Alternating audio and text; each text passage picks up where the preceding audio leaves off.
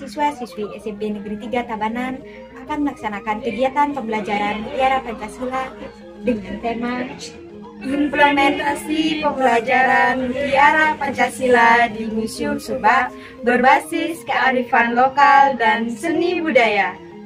Museum Subak adalah museum yang menyajikan informasi yang berkaitan dengan sistem irigasi sawah tradisional Bali yaitu Subak. Museum ini terletak di Kota Tabanan, tepatnya di Jalan Kantor Subroto, Desa Banyar Kecamatan Kediri, Kabupaten Tabanan, Provinsi Bali. Swastiastu, kami SMP 3 Tabanan hari ini berkunjung ke Subak berkolaborasi untuk pembelajaran Mutiara Pancasila dengan tema implementasi pembelajaran Mutiara Pancasila berbasis kearifan lokal dan seni budaya. Oke, ke yang tutup dengan program Om Santi Santi Om. Om Swastiastu. Saya Kepala UPTD Museum Subak mengucapkan selamat datang kepada Bapak Kepala Sekolah SMP Negeri 3 Kabanan beserta guru dan siswa-siswi yang berkenan berkunjung ke museum kami dalam rangka mendukung program Disdik Tabanan yaitu pembelajaran Mutiara Pancasila dalam penerapan kurikulum Merdeka yang berbasis kearifan lokal, tradisi, dan budaya. Kami sangat mengapresiasi program yang Bapak Ibu jalankan karena kearifan lokal, tradisi dan budaya kita mulai terdegradasi oleh perubahan zaman sehingga anak-anak kita, generasi milenial kita mulai melupakan akan kearifan lokal kita, sejarah dan budaya lokal kita, terutama budaya pertanian yang ada di Tabanan ini.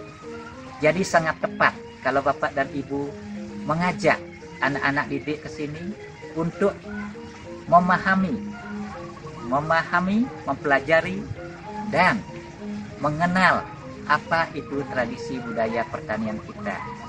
Melalui Museum, Subak, uh, kita bisa mengedukasi anak didik kita agar ke depannya mereka mulai menghargai budaya kita.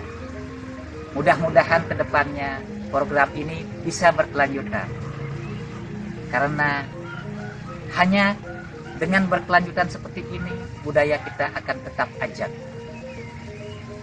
Demikian. Terima kasih. Om Santi Santi Santi. Om. Juga eh, kita parkir mungkin banget. Eh, SMP tiga tabanannya sampai berkunjung lah. Berkunjung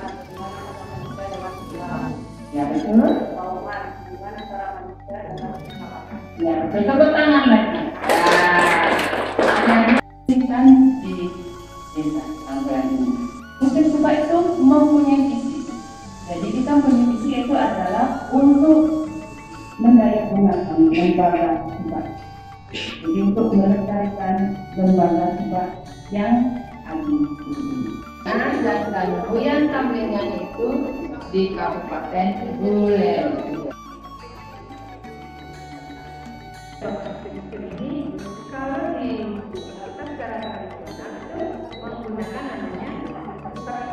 Jadi bangunan baru.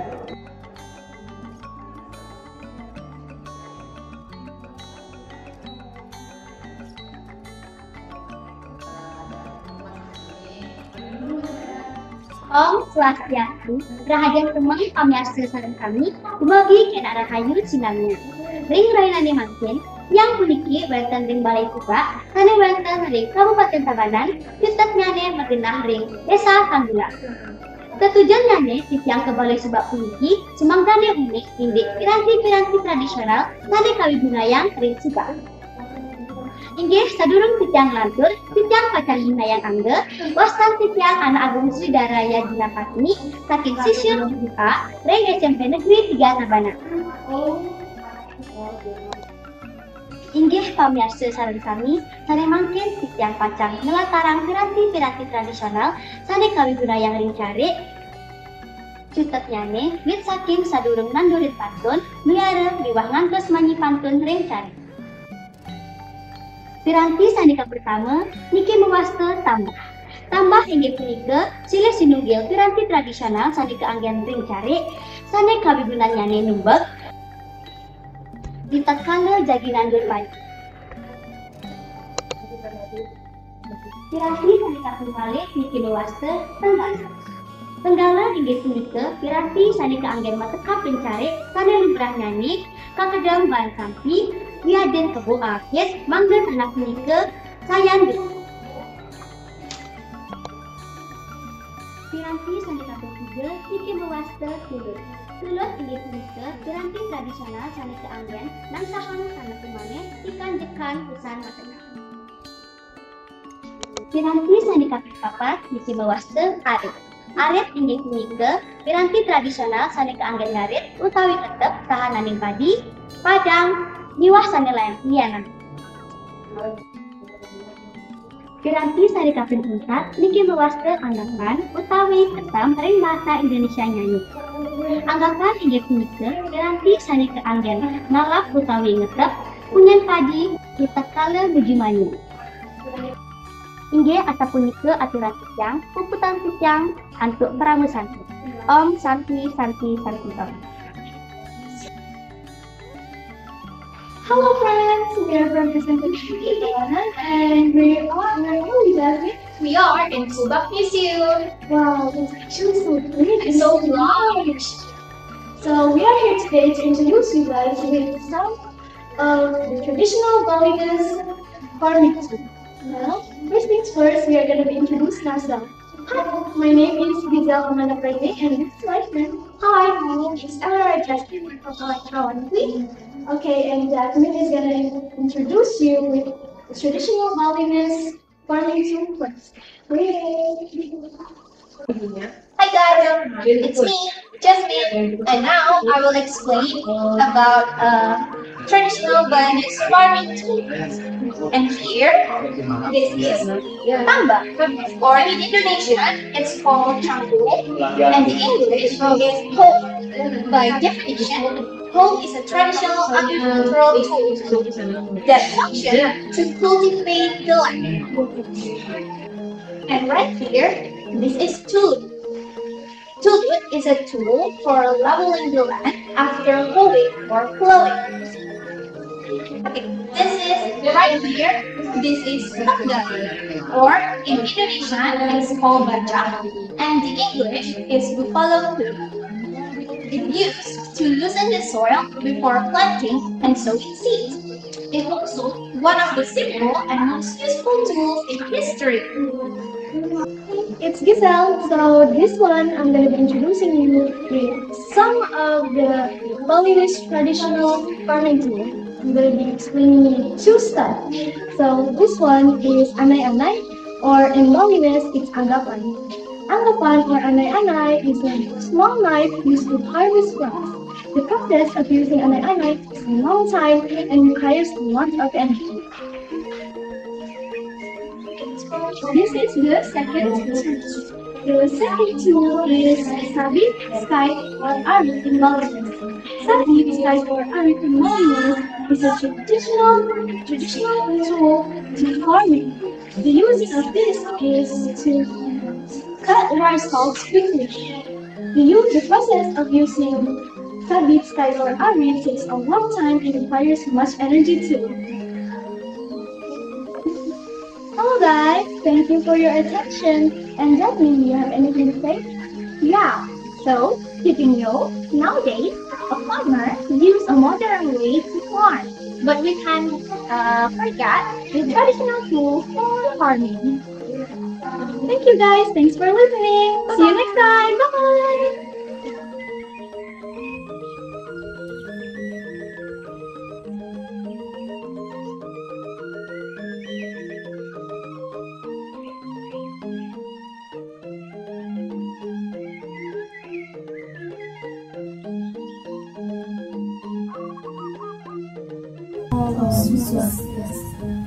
Sini saya akan memberi penjelasan tentang daun andong dan alang-alang. Daun andong bisa dijadikan penyeng. Ini adalah contohnya. Daun andong biasanya digunakan sebagai penyangka rumah dan daun andong memiliki warna pas yaitu warna merah yang melambangkan dewa Brahma.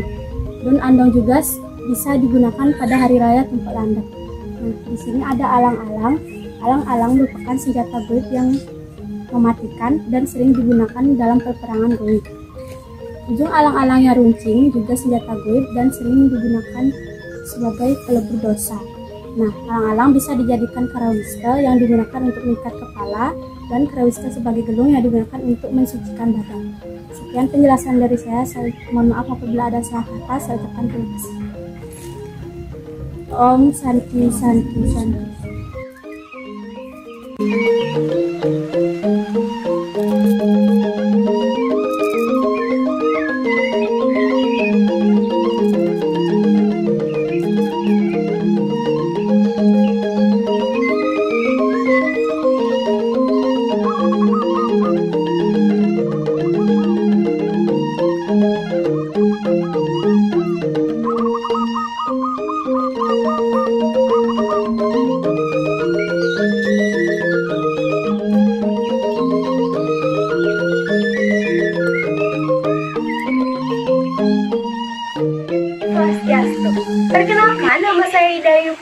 Suwadani. Saya akan menjelaskan tentang Museum Subak. Museum Subak adalah sebuah museum yang memamerkan tentang koleksi alat-alat pertanian tradisional yang dipakai dalam bertani dan sistem pengairan atau irigasi tradisional Bali yang disebut dengan Subak. Museum Subak juga merupakan salah satu tujuan wisata untuk study tour yang banyak dikunjungi oleh para pelajar ataupun wisatawan, baik wisatawan domestik maupun mancanegara di pusat wilayah Tabanan. Museum Subak Sambulan Tabanan terletak di Desa Banjaranyar, Kecamatan Kediri, Kabupaten Tabanan, Bali, Indonesia.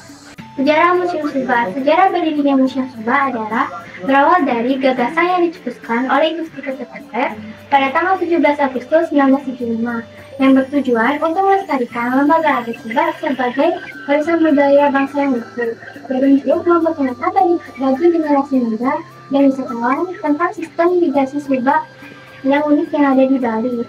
Gusti Ketepeter adalah seorang pakar adat dan agama yang pada waktu itu bekerja di Kremlin dapat Pertemuan Agama Provinsi Bali. Gagasan tersebut diwujudkan dalam bentuk cagar budaya Museum Subak yang kemudian dinamakan Museum Subak. Museum Subak diresmikan pada tanggal 13 Oktober 1981 oleh Gubernur Bali Profesor Dr. Bagus Nanta. Museum Subak menjadi salah satu objek wisata di Tabanan Bali yang menarik dan banyak dikunjungi oleh para pelajar, mahasiswa maupun wisatawan. Ada beberapa hal yang menjadi pertimbangan kenapa Museum Subak didirikan atau dibangun di Tabanan Bali. Di antaranya adalah karena Tabanan memiliki daerah persawahan yang lebih luas dibandingkan kabupaten lainnya dan sering kali dijuluki sebagai lumbung banyak sekali. Dan juga karena organisasi Subak di Tabanan lebih banyak dibandingkan kabupaten lainnya yang ada di Provinsi Bali. Sistem pengairan sawah atau irigasi Subak. Subak adalah organisasi masyarakat petani di Bali yang secara khusus menangani pengaturan atau sistem irigasi sawah yang dengan cara tradisional atau konvensional. Subak adalah merupakan filosofi dari Sri Hitakarana. Sri Hitakarana dibagi menjadi tiga, yaitu kata Tri yang artinya tiga, Hita yang artinya kebahagiaan atau kesejahteraan, dan Karana yang artinya penyebab. Jadi, Sri Hitakarana memiliki arti tiga penyebab kebahagiaan dan kesejahteraan. Pemahamannya dalam metode Subak yaitu satu parayangan. Parayangan adalah hubungan antara manusia dengan Tuhan. Yang kedua, ada pawongan. Pawongan adalah hubungan antara manusia dengan sesama. Dan yang ketiga, ada pelemahan, yaitu hubungan antara manusia dengan lingkungan sekitar. Kata Subak pertama kali dilihat dalam prestasi Panda Bandung yang memiliki angka tahun 1072 Masehi. Kata Subak tersebut mengacu kepada sebuah lembaga sosial dan keagamaan yang unik memiliki sistem pengaturan tersendiri dalam mengatur air irigasi untuk pertumbuhan padi. Implementasi dari sistem pengairan subak tersebut dapat dilihat hampir di seluruh persawahan yang ada di Bali. Dan salah satu yang sering dikunjungi adalah objek wisata sawah Catur Angga Batu Karu atau salah satu situs yang ada di Bali yang ditetapkan oleh UNESCO untuk warisan budaya letak Museum Subak. Museum Subak dibagi menjadi dua bagian yang terpisah, yaitu Komplek Museum Subak terbuka dan Komplek Museum Subak tertutup. Komplek Museum Subak tertutup terdiri dari dua bangunan yang mempunyai fungsi sebagai pusat informasi dan gedung pameran serta ruang audiovisual, ruang belajar, perpustakaan, kantor, dan miniatur sistem sistem Subak. Sedangkan komplek museum Subak terbuka ialah berupa hamparan sawah dengan sistem pengairan subak. Pada kedua bangunan utama tersebut, pengunjung dapat melihat, mengenal, dan mempelajari hal yang berkaitan dengan pertanian di Bali, seperti alat pemogang padi dan alat penumbuk padi seperti yang ada di belakang saya.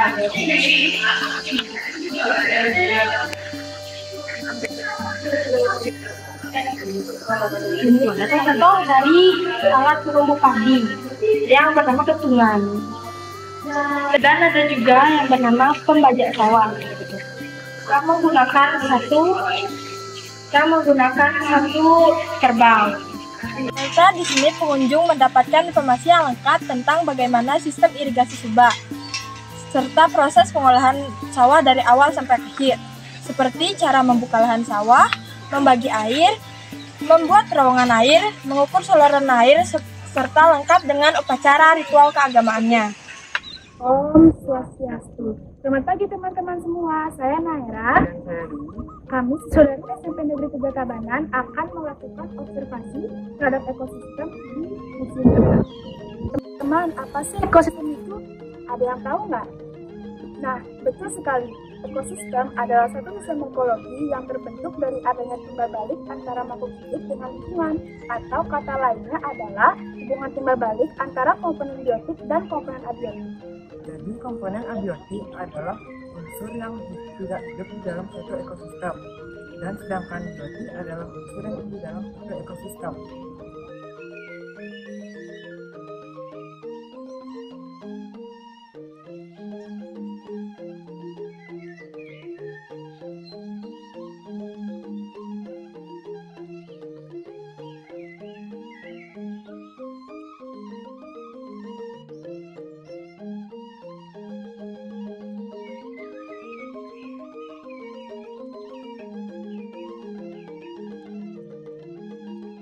Nah teman-teman, dari hasil pengamatan yang kita lakukan di lingkungan Museum Subak, terdapat beberapa ekosistem seperti ekosistem kolam dan ekosistem sawah.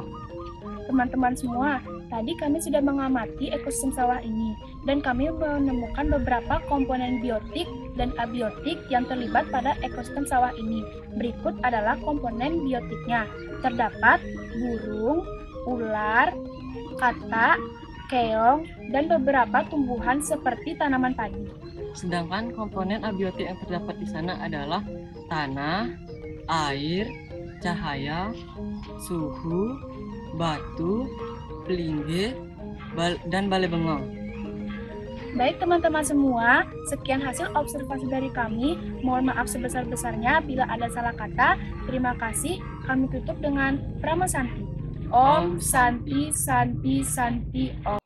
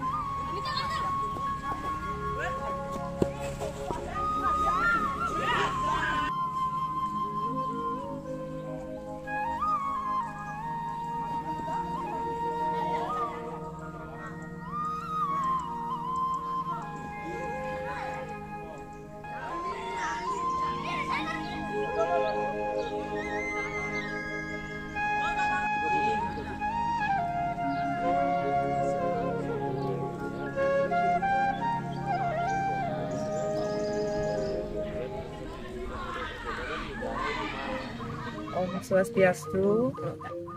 Uh, saya mengucapkan banyak terima kasih atas diterimanya kami keluarga besar SMP 3 Tabanan ke Museum Subak dalam rangka em, melihat-lihat atau memberikan pembelajaran bagi anak-anak terutamanya untuk implementasi kurikulum merdeka dengan tema Mutiara Pancasila.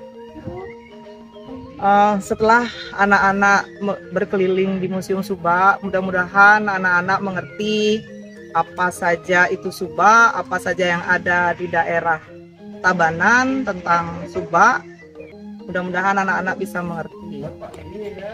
Eh, selanjutnya, saya ucapkan banyak terima kasih kepada kepala UPTD Museum Subak beserta jajarannya.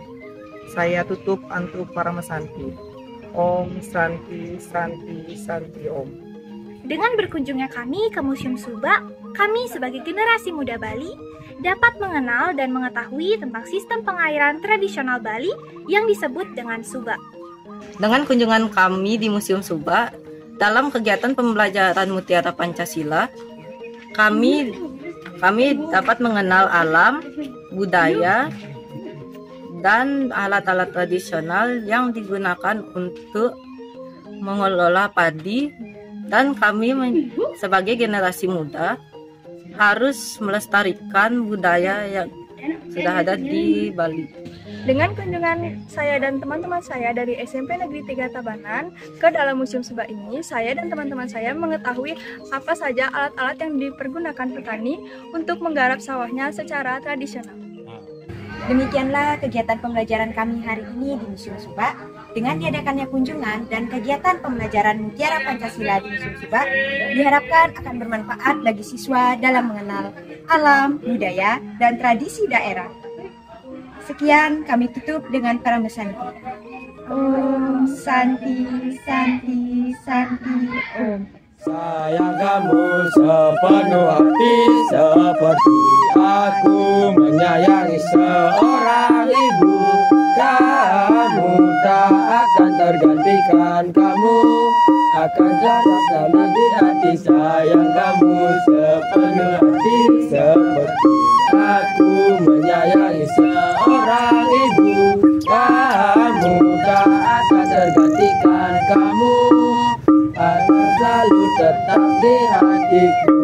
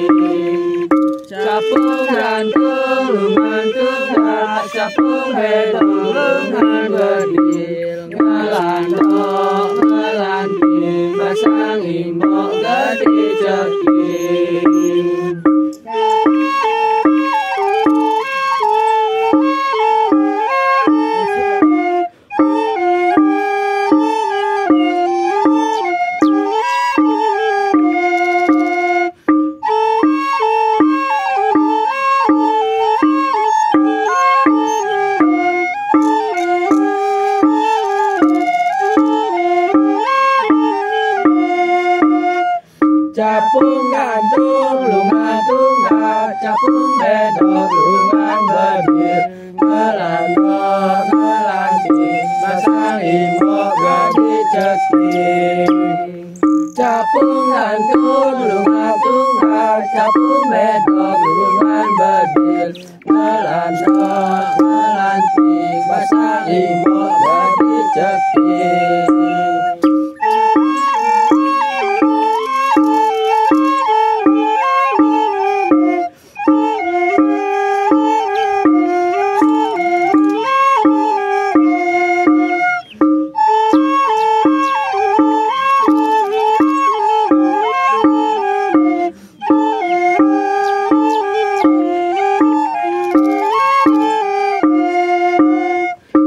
phương an trương lượng an trương nga cha phương bè đọc lượng an bờ đường ngơ làn đo ngơ làn tiền bà xa thì ngô gà biết chợ kỳ cha phương an trương lượng an trương nga cha phương bè đọc lượng an bờ đường ngơ làn đo ngơ làn tiền bà xa thì ngô gà biết chợ kỳ